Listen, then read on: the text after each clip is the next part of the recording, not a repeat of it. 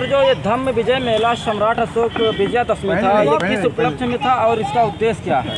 देखिए आज जो धम्म मेला या सम्राट अशोक विजयदशमी का कार्यक्रम जो रखा गया है हाल ही चौदह अक्टूबर उन्नीस सौ छप्पन को बाबा साहेब डॉक्टर भीमराव अंबेडकर जी दस लाख अनुयायियों के साथ जो हम पशुगत जीवन व्यतीत करते थे गैर मानवीय व्यवहार व्यतीत करते थे जैसा भी उससे छोड़ करके उन्हें पूरे बहुजन समाज को एक दिशा दिया और उस दिशा के साथ उन्होंने दस लाख अनुयायियों के साथ जो है बौद्ध धर्म का बौद्ध धर्म को ग्रहण किया था उसी की पैंसठवीं वर्षगांठ मनाने के लिए हम लोग यहाँ धम्म मेला आयोजित किए हैं। आप लोग ऐसा क्या करेंगे जो इस भारत देश में बौद्धमय भारत हो जाए? अब देखिए कहा गया ना कि जब चीटियों का हजूम आएगा तो बड़ा से बड़ा हाथी भी भाग खड़ा होगा। अब बहुजन समाज अभी जो छोटे छोटे टुकड़ों में था वो धीरे धीरे एक मंच पे आ रहा है। आने वाला समय ये बौद्धमय होगा बुद्धमय भारत होगा पूरा भारत बुद्धिज्म से जाना जाएगा। छोटे छोटे संगठन एकजुट हो रहे हैं और आने वाले अ, मान मान सकते हैं एक सौ सालों में बहुत बड़ा परिवर्तन दिखेगा आपको। सर आपका परिचय? मैं राम बिज गौतम एडवोकेट हाईकोर्ट अध्यक्ष डॉक्टर अंबेडकर वेलफेयर एसोसिएशन दावा। इस मेले के बारे में आप क्या कहना चाहेंगे? ये मेला मानवता बंधुत्व और न्याय के लिए कि जो विषमता समाज में फैली हुई है कुरीतियाँ फैली हुई हैं उन्हें दूर करने के लिए एक एक प्रयास किया गया है और ये आने वाले दिनों में ये निरंतर ये अलग जलती रहे ऐसा प्रयास इलाहाबाद के मंच से हाईकोर्ट की धरती से खासकर बाबा साहब की मूर्त स्थल से किया गया है।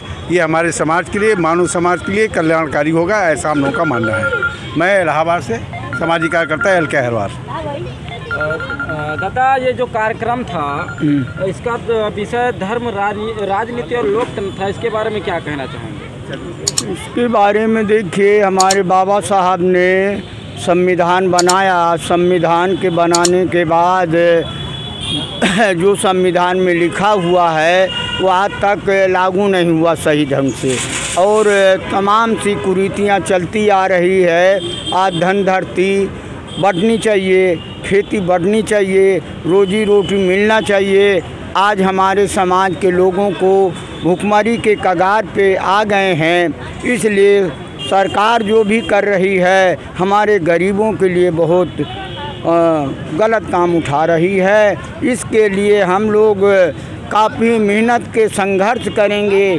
क्योंकि सरकार जो है हमारे गरीबों के लिए जो हथकंडे अपना रही है हम लोग अभी नहीं ऐसा चलता रहेगा तो हम लोग आंदोलन भी करेंगे साहब। नमो बुद्धा जय सर आपका परिचय क्या है? परिचय? सुखदेव गौतम बुद्ध के सिद्धांत से एकमय हो सकता है कार्ल मार्क्स के सिद्धांत से एकमय हो सकता है पूरा भारत। और वर्ग विहीन और जाति विहीन समाज की स्थापना तभी हो सकती है जब देश की जनता उस रास्ते पर अंबेडकर के, गौतम बुद्ध के और कार्ल के रास्ते पर जाए, तभी हो सकता है। जब तक वर्ग है, तब तक एक वर्ग दूसरे वर्ग का दुश्मन होता है और वर्ग संघर्ष चलता रहेगा, वर्ग संघर्ष चल रहा है। जब वर्ग ही नहीं रहेगा, तब जाके वर्ग संघर्ष खत्म हो जाएगा, समाजवाद आएगा। ये सरकार से काम चलने वाला नहीं है। पूंजीवाद को ढाना होगा और समाजवाद आएँगे, तब समता और समाजवाद जब आएगा तब जाके सब समान होगा आदमी आदमी बराबर हैं। जो तभी आएगा जब समाजवाद का पूंजीवाद को आने के वही कड़ी ये जा रही है। उसी लाइन पर ये सर्वहारा वर्ग का आदमी जा रहे हैं। क्या पुष्यमित्र सुंग का पुष्यमित्र सुंग का राम से कोई कनेक्शन है क्या? पुष्यमित्र सुंग ने तो राम पुष्यमित्र सुंग ही तो वो कौन है? बृहदरथ को मारा था। बौद्ध राजा अंतिम बौद्ध राजा बृहदरथ को पुष्यमित्र सुंग ही ने मार डाला और वही राम बन गया यहाँ आके आज जो दशहरा हो रहा है क्या इसी उपलक्ष्य में हो रहा है? हैं? जो आज दशहरा हो रहा है हाँ। क्या अ, ये ये गलत हो रहा है उल्टा हो रहा है। अशोक दशमी को ये राम नवमी है दशहरा कहते हैं राम और रावण की लड़ाई कहते हैं। ये तो विजयदशमी है। अरे वो अशोक का ये त्यौहार है। अशोक ने कलिंग पर युद्ध किया था। कलिंग विजय के बाद तो ये अशोक विजय है। सम्राट अशोक जो है चौर चौरासी हज़ार स्तंभ स्तूप जो है स्थापित करवाए थे वो कैसे विलुप्त हो गया? हाँ लुप्त हो गया। पहले तो आक्रमणकारी विदेशी आक्रमणकारी आए मुसलमान आए उन्होंने सोचा नहीं कि गौतम बुद्ध समझे कि बुद्ध परस्त लोगों का ये है और उन्होंने ढाह दिया बर्बाद किया ये सब किया कर डाला। गलत फहमी से। तो विदेशियों के आक्रमण ने और उसमें ये ब्राह्मणवाद ने उसमें घी में, आग में और घी डाल दिया। ये भी बुद्धिज़्म से बिल्कुल चिड़े हुए थे। इन लोगों ने भी उसमें सहयोग दिया। विदेशी आक्रमण और ब्राह्मणवादी, समाजवादी फांसीवादी व्यवस्था दोनों ने ढा दिया, बर्बाद कर दिया बुद्धिज़्म की। बुद्धिज़्म की लड़ाई ब्राह्मणवाद से उसी तरह जिसे पूंजीवाद की लड़ाई समाजवाद से है। उसी तरह से लड़ाई हुई थी गौतम बुद्ध से और ब्राह्मणवाद से। जिस तरह आज पूंजीवाद की लड़ाई समाजवाद से हो रही है। हम इस मेले के बारे में यही कहना चाहते हैं कि जो भारत विश्वगुरु था वो अब विश्वगुरु भारत जल्द ही जल्द बनने वाला है बौद्धमय से धम्म से।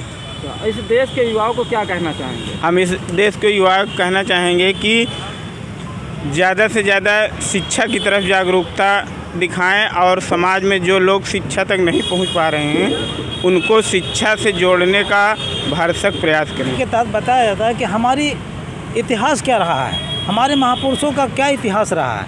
तो उस इतिहास के बारे में लोग जानते हैं और विचारधारा को लेकर चलते हैं, जिसमें समता समता बंधुत्व की बात करते हैं। और जिस विचारधारा को उन्होंने आज जैसे सम्राट अशोक विजयदशमी के तौर पर है। तो सम्राट अशोक, विजयदशमी, सम्राट अशोक का एक लाइन क्या था, विचारधारा क्या थी, उन्होंने क्या किया था? सिर्फ़ वही हम क्या कर सकते हैं नहीं कर सकते हैं कि वो दिन हमारा जो भारतवर्ष जो था जो विश्व गुरु हुआ करता था तो उस दुनिया को उस विचारधारा को हम लोग कैसे करेंगे उस चीज़ को अंगीकृत कर कहाँ पर क्या मैंने कहाँ वो हासिल कर सकते हैं हम लोग इसी को जन जागरण के लिए उसी को हासिल करने के लिए हम लोग इकट्ठा होते हैं और हम उस विचारधारा को आपस में एक शेयर करते हैं। मैं लगता है ये जो दशहरा हो रहा है अभी पता लगा है कि दशहरा जो है गलत मनाया जाता है आज के दिन विजयदशमी मनाया जाता है। जी, आप एक बिल्कुल सही कह रहे हैं। ये जो हमारे बौद्ध धर्म के सारे पर्व थे ये सारे पर्व हिंदू धर्म ने हाईजैक कर लिए हैं। तो ये विजयदशमी, अशोक विजयदशमी के रूप में मनाया जाता था। तो जो हिंदू धर्म वाले हमारे सारे पर्व को हाईजैक करके वो अपना बना लिए हैं, उसको रूप रंग मतलब दे दिए।